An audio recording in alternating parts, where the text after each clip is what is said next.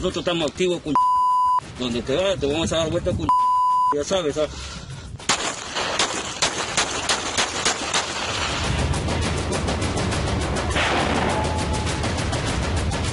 ¿Quién te va a hacer dinero? ¿Ah?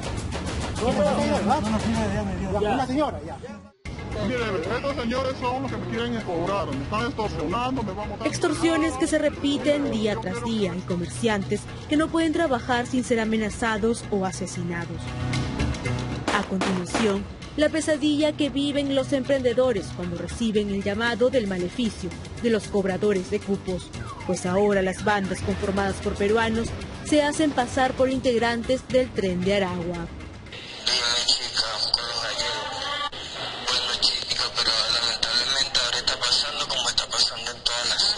Ellos se hacían pasar por qué organización criminal. El tren de Aragua.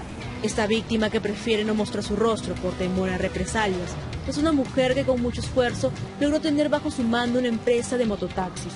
Trabajo honesto que se convirtió en una amenaza de muerte, pues los delincuentes le pedían 3 mil soles mensuales para dejarla en paz. Y me volvieron a amenazar de muerte, que me iban a matar.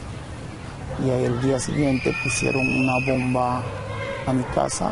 En un inicio eh, fueron 1200. Semanales. Ajá, semanales. Y me mandaron un mensaje de WhatsApp diciéndome, pues no, ahí está, te gustó el regalito que te, que te mandé. ¿no? Que si no colaborábamos con 3.000 soles, entonces semanales, mataba pues, ¿no? A mí, mis hijos. Entonces yo tuve demasiado miedo con todo eso.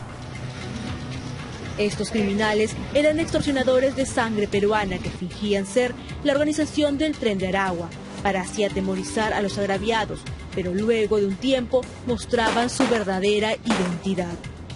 Tomaron un video de mis motos, de mi casa, me mandaron una tarjeta hacia mi tesorero, ¿no? Con balas. Las personas que te llamaron eran extranjeras, eran peruanos. Extranjeros en el primer mm, momento de la llamada, posterior a la segunda llamada fue extranjero y al final fue un peruano que terminó hablando. En la última dijeron que era el oso de Motupe. Estos son los rostros de los sujetos que están detrás de las amedrentaciones, jóvenes que fueron capturados por la policía y que venían sembrando terror en San Juan del Urigancho, solicitando a los negocios una cuota por resguardo, yendo a cobrar siempre a bordo de motos que fueron incautadas. Desde el mes de julio venían llamando constantemente por teléfono a una empresaria que conducía una empresa de transportes. Ella pues tenía en su, en su asociación tenía pues 140 personas que trabajaban con ella. Ellos inicialmente se- identificaron como que eran eh, integrantes de esta banda criminal que es el Tren de Aragua, ¿no? Y sencillamente pues con la finalidad de ocultar en realidad su verdadera identidad y aparentar pues que eran extranjeros. Lo que yo pasé mi familia pasó, no se lo deseo a nadie, no quiero que sigan pasando más gente todo lo que yo he vivido. Intimidaciones que en muchos casos se materializan, como le sucedió a un par de administradores de una empresa de deliveries, al que le detonaron un explosivo casero al no dejarse extorsionar.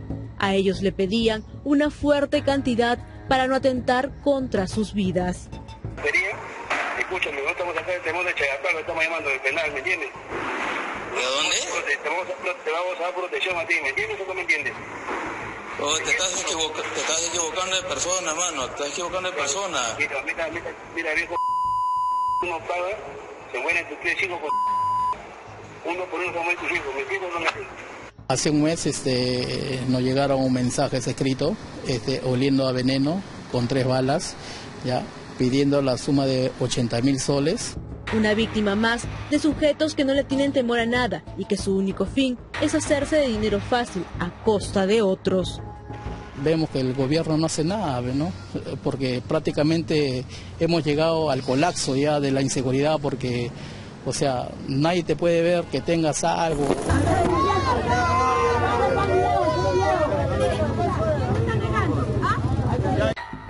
La misma situación pasaba en los comerciantes de un mercado en San Martín de Porres, y es que al parecer nadie se salva de estas lacras que vienen apoderándose de los distritos de la capital.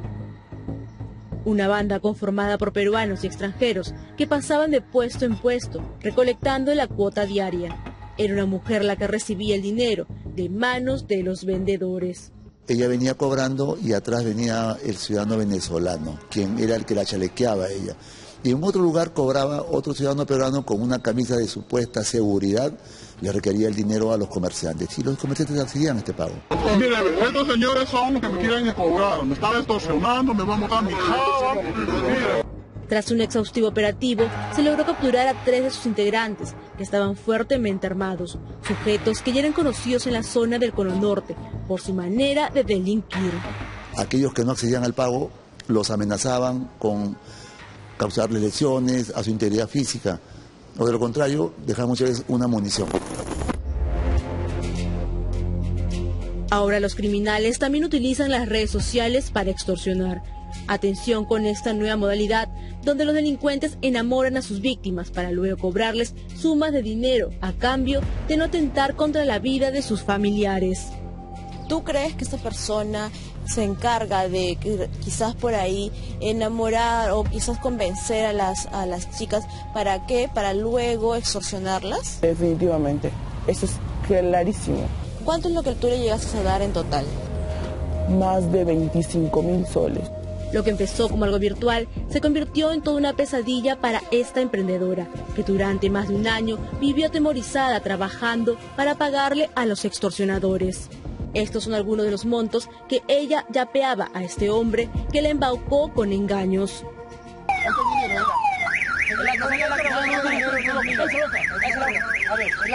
B11048-78Z.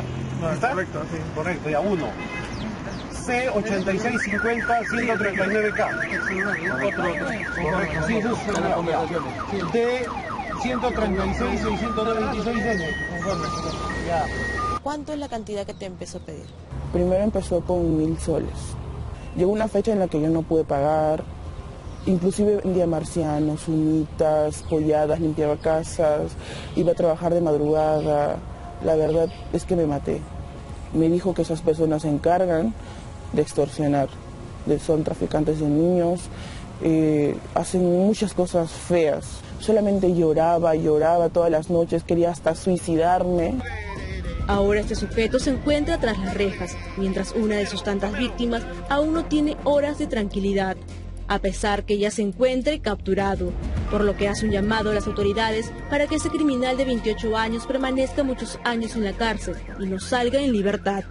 Estamos acá en la intervención del detenido, ¿no? la intervención de acá del extorsionador, del extorsionador.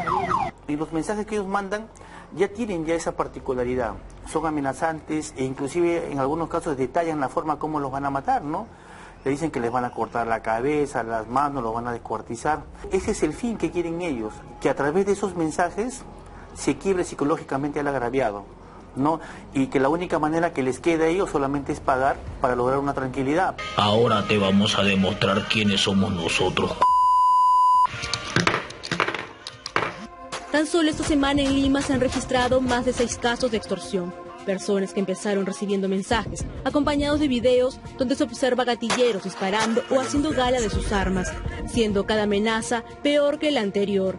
Intimidaciones que a veces pasan de conversaciones hostiles a ataques como los que hemos podido presenciar en más de una ocasión. hace como tres, cuatro meses. ¿Y el chofer ya, ya ha sido herido en el segundo carro? Sí. Ha sido herido, ha sido herido. Acá hay una, una granada de guerra, ¿no? Sí, sí, con cuidado. Ya, no lo toque porque tiene que venir. Ya, ajá. ¿qué más? Algunos viven para contarlo, en cambio otros no solo se convierten en blanco de la extorsión, sino también del sicariato. Todo por no pagar un par de soles, una triste realidad que se viene viviendo en nuestro país. Un delito que este año ha venido en aumento, pues todos los días vemos casos de ciudadanos que denuncian estar bajo las amenazas de estos criminales. Y es que a pesar de los constantes operativos y detenciones que se realizan todas las semanas, pareciera que el cobro de cupo no tendría cuándo acabar, a causa de extranjeros o de peruanos que copian la forma de delinquir del tren de Aragua. Ya hemos desarticulado 31 bandas de extorsionadores solamente en mi unidad nada más, ¿no?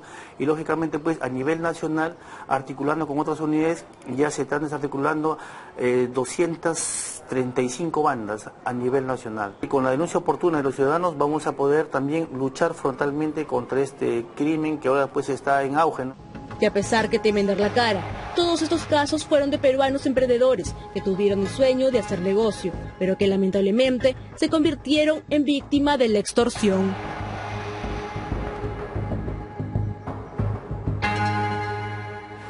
Y el conocido abogado Sermán de la Cruz de 40